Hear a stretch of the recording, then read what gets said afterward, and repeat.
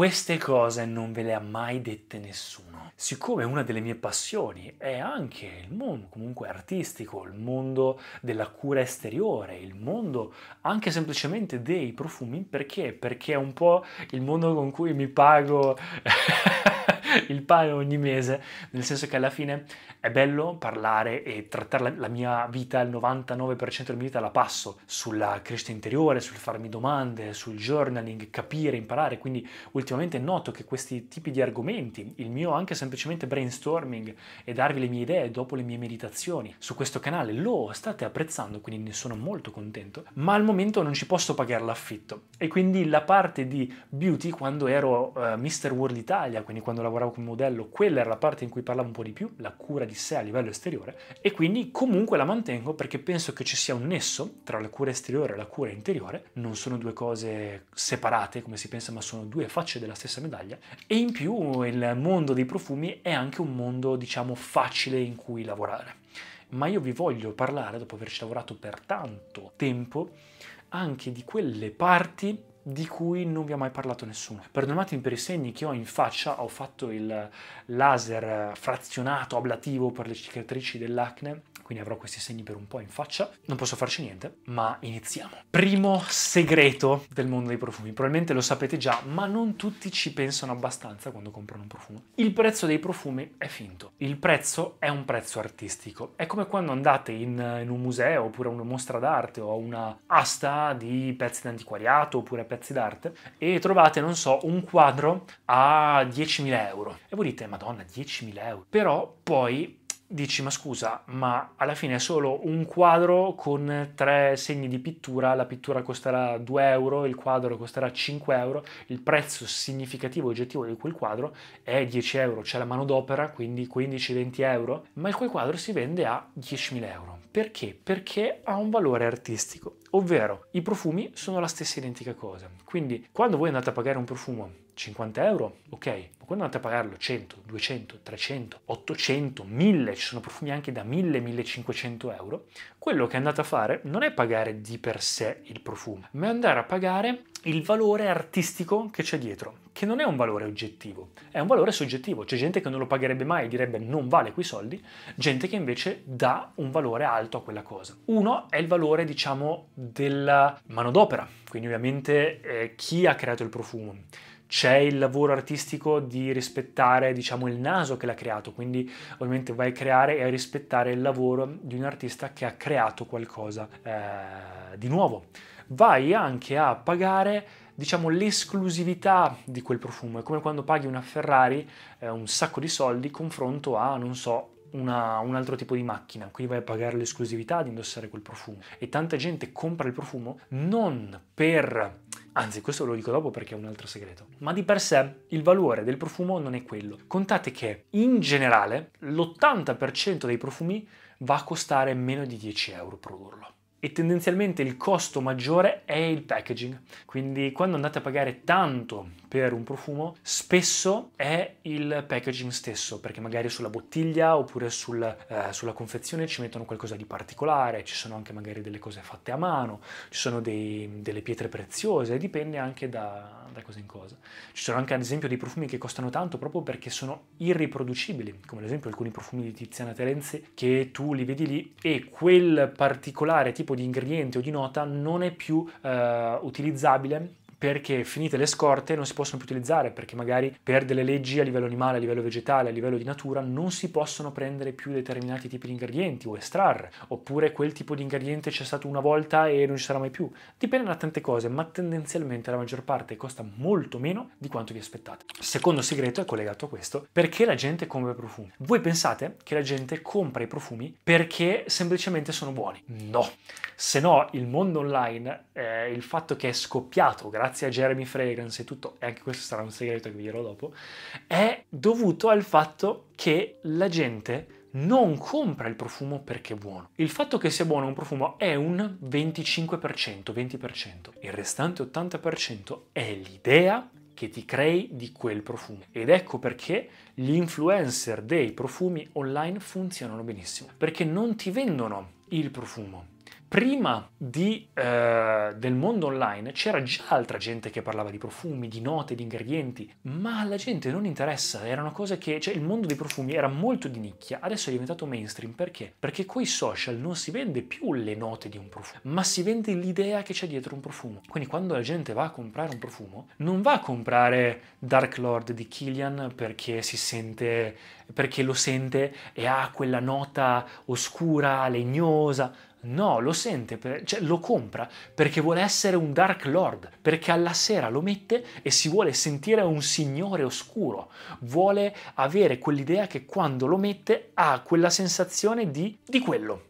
Eh, la boccetta deve piacergli, il nome deve piacergli, deve essere qualcosa che a lui piace, la narrativa che si è creato in testa è il motivo principale per cui una, una persona compra il profumo. Terzo segreto collegato a questo, il mondo dei profumi è scoppiato grazie a Jeremy Fragrance. Non c'è niente da fare, Puoi non essere d'accordo, puoi essere d'accordo, ma è oggettivamente così. Perché? Perché prima di Jeremy Fragrance c'era gente che parlava di profumi online, c'è sempre stata, c'è sempre stata la, la, la nicchia appassionata di profumi, ma come vi dicevo era un mondo di nicchia era gente appassionata, ma tendenzialmente 8 persone su 10 non indossava il profumo. Se lo indossi, lo indossavi alla sera e prendevi la prima cosa che ti regalavano. Te ne selezioni uno e hai quello per tutta la vita, lo associ addirittura a te stesso. Ma questa cosa per le persone normali è noiosa. Perché? Perché è come quando mi chiedono, Marco, ma cosa ne pensi di quel profumo lì? Che note ha? Le note, ragazzi, contano pochissimo, pochissimo, a parte in alcuni casi, ma è come cercare di spiegare una canzone tramite le note musicali. È come cercare di spiegare un piatto in un ristorante, non so, gourmet, in un ristorante stellato, dagli ingredienti del piatto. Hai una vaghissima idea, ma non hai idea di quella cosa. L'hai capito, quell'odore, in modo tecnico, ma l'odore non è tecnico sapere le note, gli ingredienti e tutta questa parte di cui si parlava nello social prima di Germi era utile solo per chi? Per i veri appassionatissimi di quelle cose tecniche, anche un po' di chimica, di scienza, e per quelli che creano i profumi, quindi nell'ambito, i nasi, la gente che li studia, eccetera.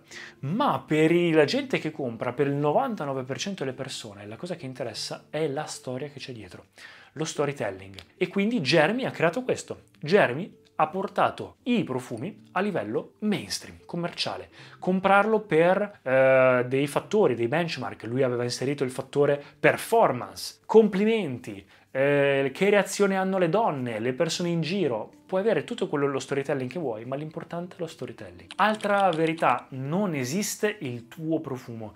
L'idea del tuo profumo ce l'hai solo ed esclusivamente perché hai preso un profumo quando eri piccolo, l'hai associato a te per tanto tempo e quindi quello è diventato il tuo profumo. Ma se vai avanti nella tua vita a cercare il tuo profumo, non lo troverai mai. Perché? Perché più vai avanti, più ti crei una collezione ed è come cercare il tuo outfit. Puoi avere un outfit che ti piace di più in un certo momento, dipende anche dalla situazione, eccetera, ma tendenzialmente cambi outfit in base all'occasione, cambi in base a quello che vuoi metterti, cambi in base anche al tempo atmosferico, stessa cosa il profumo. Puoi avere una famiglia olfattiva in cui ti senti un po' più a tuo agio, un po' più rispecchiato, ma un profumo singolo, se vai avanti all'infinito, comprerai migliaia e migliaia di profumi e il mondo della profumeria funziona grazie a quello, ma non troverai il tuo, non puoi trovare il tuo profumo, perché a meno che non stai guardando questo video, quindi non ti interessa interessa il mondo dei profumi, ma se stai guardando video e ti interessa vuol dire che non lo troverai mai, perché andrai avanti all'infinito e comunque i profumi sono sempre di più. Ne trovi un altro, finisce questo ma non sei soddisfatto, ne vuoi un altro e così via. Altra verità, la maggior parte dei brand crea cloni. Il 70% dei brand non fanno altro che prendere profumi che già funzionano o che hanno funzionato in passato, hanno venduto e creare cloni creare semplicemente profumi che già vendono. Ci sono tantissimi brand che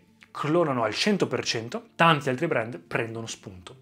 Oppure hanno all'interno della loro collezione uno o barra tre profumi che sono fatti per il mainstream per vendere, se no la baracca non si tira avanti. Gli altri possono essere concettuali, ma almeno un profumo tendenzialmente per brand mainstream copiato da qualcun altro o di moda c'è sempre. Stessa cosa per i flankers, altra uh, verità. Questo invece va un po' di più sulle grosse catene di, uh, di distribuzione o comunque sui grandi produttori come o brand e marchi come Chanel, Dior, eccetera. Quello che noi vediamo quando esce Dior Sauvage, Dior Sauvage Eau de Parfum, Dior Sauvage Parfum, Dior Sauvage Elixir, Dior Sauvage eh, non, sono tutte cavolate. Può essere un profumo buonissimo, ma è esclusivamente la stessa cosa, è un clone dell'altro, una piccola variazione dell'altro, tanto per vendere tanto di più. Perché? Perché quel, bre- quel profumo ha funzionato tanto e quindi non puoi continuare a riproporlo all'infinito.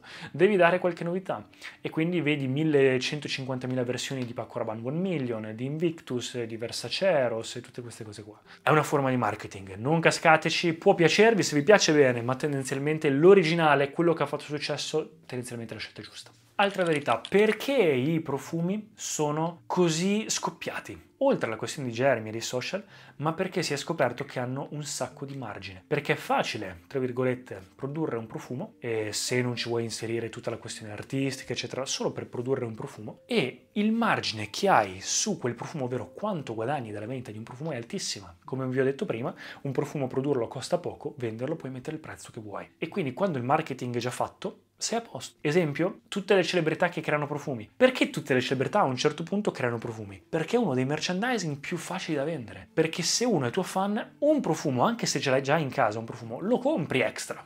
Perché non è un bene di necessità, ma non costa troppo per essere un bene di lusso. È quella via di mezzo che la gente compra tanto per averlo, mal che vada buttato via 100 euro, e ce l'ha lì e gli piace averlo. È un collezionabile di lusso che ti fa sentire anche di aver speso soldi per del lusso, ma allo stesso tempo è anche un qualcosa di collezionabile, quindi uno può potenzialmente spendere un sacco di soldi, quindi va all'infinito. E questa cosa è assurda, perché il margine che creano i brand è pazzesco. Infatti adesso stanno scoppiando tantissimi brand di profumi, soprattutto qua in Italia, e anche persone famose ne approfittano e il bello cos'è? È che quando finisci il profumo, cosa fai? Lo ricompri e quindi è potenzialmente un loop infinito, è un business da paura. E qua arriva la penultima verità, poi ne ho tante altre, ma in caso farò altri. Ed è che purtroppo da quando è scoppiata questa cosa, noto che c'è c'è veramente poca parte artistica. Una volta il mondo della nicchia era veramente artistico, non interessava così tanto vendere, era più un gente che fa i profumi di nicchia, era più per creare proprio un progetto per sé, una visione artistica. Ci sono ancora alcune, ma tendenzialmente adesso si nota tanto la questione vendita, è tutto basato sulle apparenze, è tutto basato sui numeri e diciamo che ne va un po' a giovare questa cosa. Perché? Perché anche lì le persone poi si fidano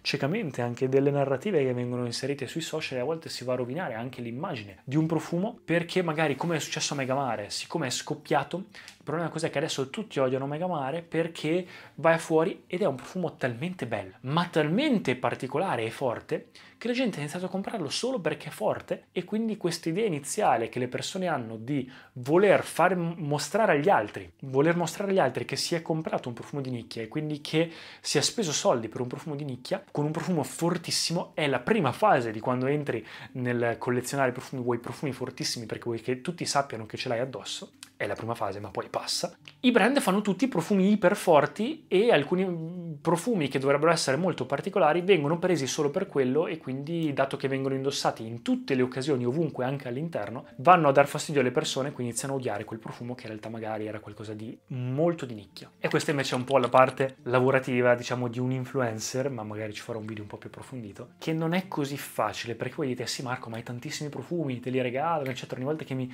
vedono le storie di gente che mi dà profumi, dicono, eh, ma è facile così, eccetera. Sembra una cavolata, ma ragazzi, non è neanche, tra virgolette, facile perché io adesso mi ritrovo con quasi 400 profumi, non ho idea di dove metterli, non posso portarmeli in giro se mi trasferisco, vengono inutilizzati perché oltre a farli utilizzare dalla mia famiglia, non, cioè, o devo uscire ogni giorno e spruzzarmi 150.000 eh, litri di profumo addosso e se no vengono utilizzati quindi sono sprecati, ma allo stesso tempo cosa fai? Non puoi far vedere in, una, in un video, fare la recensione di un profumo con le testerine, eccetera, è anche brutto. Quindi diciamo che ti trovi con così tanti profumi che è quasi un peccato e non sai cosa farne. E poi tendenzialmente i, pro, i, brand, soprattutto quelli che vi ho detto prima che puntano quasi solo ai numeri, vedono questa macchina da soldi negli influencer, quindi invece di regalarti qualcosa perché magari eh, vogliono farti un pensiero, dire cosa ne pensi di questo profumo, recensissilo se ne hai voglia, eccetera, ti danno le cose solo perché devi fare un video e non ti pagano, non capiscono che per noi è un lavoro. E quindi eh, ti ritrovi mille profumi, non hai mai parlato magari di tanti profumi perché io dico guarda, eh, io ne parlo se il profumo mi piace, ma se vuoi una recensione eh, ovviamente è un mio lavoro. Poi la recensione sta a me, io non posso, cioè comunque c'è un livello di integrità, non posso fare che ogni mio video è sponsorizzato. Parlo dei brand che mi piacciono e quelli che mi piacciono si può creare una collaborazione. Se il brand proprio diciamo non è uno dei miei preferiti, però vogliono collaborare collaborare perché gli piaccio io, posso portarvelo, mostrarvelo così com'è senza avere nessun bias né positivo né negativo e dirvi guardate questo è quello che è, se vi piace questo è dove volete dare un'occhiata, se no niente, lo espongo e basta, come una pubblicità in tv, come una pubblicità sul magazine, ma spesso i brand fanno fatica a capirlo, pensano che l'influencer sia questa macchina dei soldi che tu paghi un tot oppure neanche lo paghi, gli regali il profumo e quindi si aspettano da te tutte queste cose, ma non è così. Tra l'altro i profumi non puoi darli via, non puoi venderli, non puoi farci niente, quindi è un po' un peccato. Però beh, fatemi sapere cosa ne pensate ragazzi, grazie per aver guardato il video, ci vediamo al prossimo video.